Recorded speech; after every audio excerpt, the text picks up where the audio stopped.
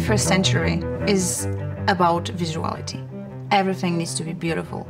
Meanwhile, we forget that architecture and building environment is affecting us also through other senses. We as human beings, we spend 90% of our time in the enclosed environment.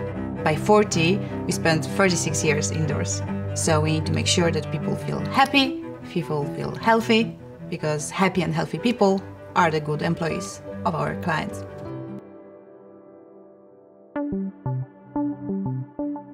If we look back sort of 60 years and think about the revolutions that happened in office design, the architectural form often ended up closing down to create dark spaces, in effect sort of inhibiting the penetration of light to those who were left in open plan in the middle of the buildings. As the telephone became an object on everybody's workstation, you started to see a sort of change in the planning regimes to office layouts. Then the electric typewriter developing memory, and then into word processing. Suddenly office planners were responding to the needs of those technological advancements. It wasn't probably until the 90s that allowing greater glass facades to enable the light to penetrate for everybody to enjoy. Of course, then in 2000 and into 2010, the advancement of the tablet computer really has enabled us to open up the design of workplaces. So well-being in the workplace is really about an organisation understanding well-being in its widest sense. So fundamentally falls into two very simple baskets. The environmental aspects, the space that the employee finds themselves in, and then probably the social connection that come out of just being around each other.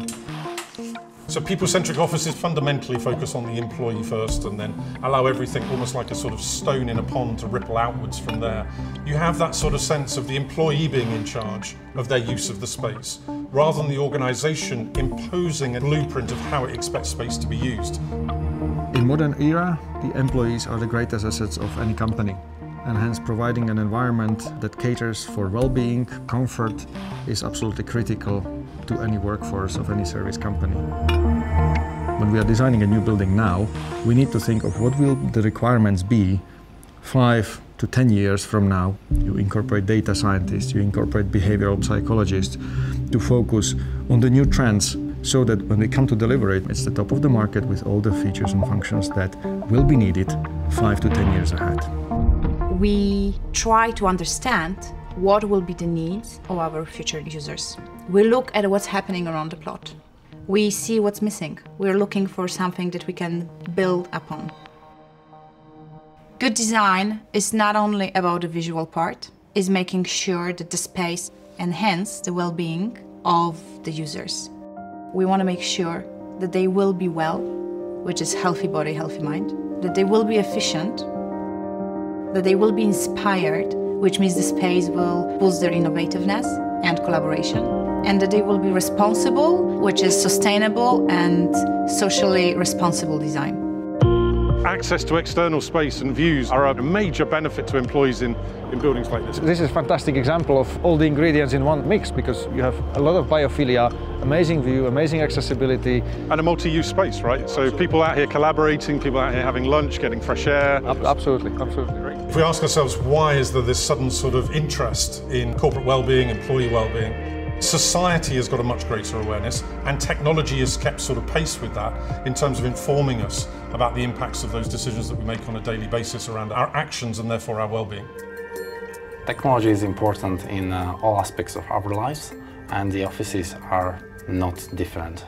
At HB Reavis, we designed a lot of smart technologies which are helping well-being in the offices for the users. This is one of the, our visual interface. You can use it for the searching the information. You can use it for the checking the quality of the environment in the meeting rooms, and you can check it for wayfinding features.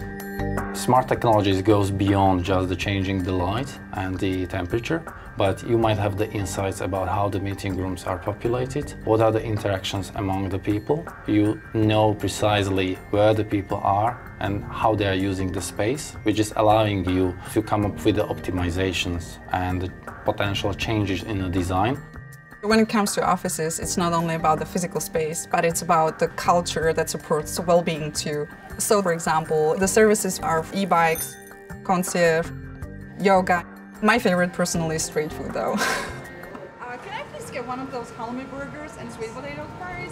Thank you. We want to take care of the people because people is the future. Every single person deserves not only healthy space, but also a space that will reduce their stress and boost their productivity at the same time. I love this space for like feeling almost like a place where you could hang out. It's it's a workspace, but still you feel really relaxed. So thanks to the positive experience I'm having here, I'm energized, I'm happy, and I'm good to go. So that's what I appreciate the most.